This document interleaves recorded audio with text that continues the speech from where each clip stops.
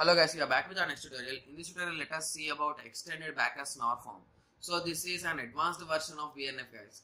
So whereas in BNF, we are having some problems in using few things.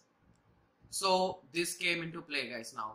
So increases the re readability and writability. So this makes the programs really look easy when they are, when we try to read them in Backus Naur forms guys. So let us assume there are three conditions that I have just got from online guys so those are nothing. But if condition is one of the extended Backus Naur form so if condition will be working in this format guys if expression is true then that statement. So this is the new format that is followed in extended Backus Naur form. So in the previous thing we used to write directly. If for if condition we will be writing internal condition. Those are statements like that will be used to do step by step.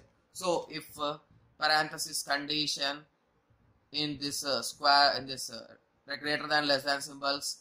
And again we'll be starting this. And again in less than greater symbols we'll be used to write statement. We will be closing that like this. So all those things have been reduced in this format guys. If expression then statement. So if this expression is true then the statement is printed. That's it. How simple is it guys? So in that way it is changed. And they are used uh, braces are used to identify used in RHS to indicate that the identifier list to separate the list of items we are using this uh, parenthesis guys uh, flower brackets we call them.